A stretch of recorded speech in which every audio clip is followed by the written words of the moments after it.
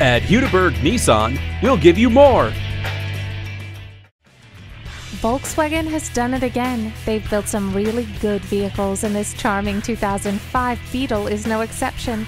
A convertible has all the right ingredients. It offers power windows, locks and mirrors, multiple airbags and air conditioning, and with a CD player and leather seats, it won't be here for long. Come in for a test drive.